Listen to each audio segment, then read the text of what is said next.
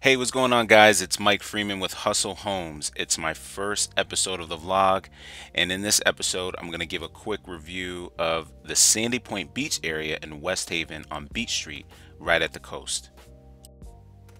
It's about 45 minutes south of Hartford and 25 minutes north of Bridgeport.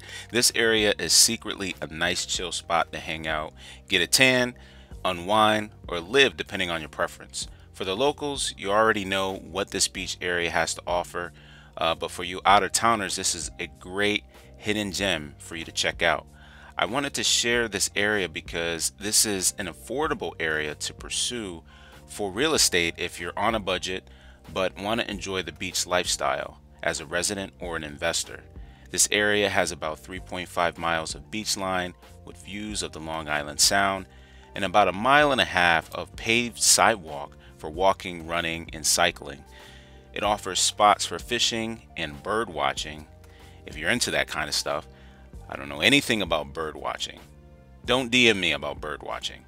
Okay, I can't help you with that. And there's a few nearby parks as well to hang out um, or for sport activities. If you get hungry, there are a couple of great seafood spots nearby.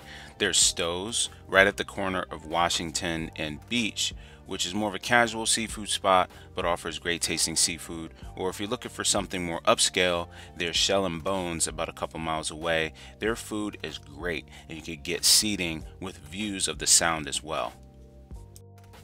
Okay, so back to the beach. If you are visiting, the parking can be a bit of a challenge here, but once you are at the beach, it's pretty easy going. In comparison to other beach areas in the state, it doesn't get too crowded here, but of course, it depends on how hot it is and if it's a holiday. What I like about this beach area is that it's very easy to get to off I-95. We're talking about maybe a seven minute drive from the nearby exit. For residents, everything you need is here as far as grocery stores, pharmacies, department stores. It's close to downtown New Haven for all of the great restaurants and of course the pizza restaurants and just 10 minutes from all of the shopping plazas and malls on the post road. I would say this location can be great for buyers looking for a bargain. Okay, so speaking of bargain, let's talk about home prices for a minute. As of April this year, the average price for a single family home is around $292,000 and $148,000 for a condo. Of course, these prices will change and vary depending on square footage, lot size, number of bedrooms, etc., but you get the idea.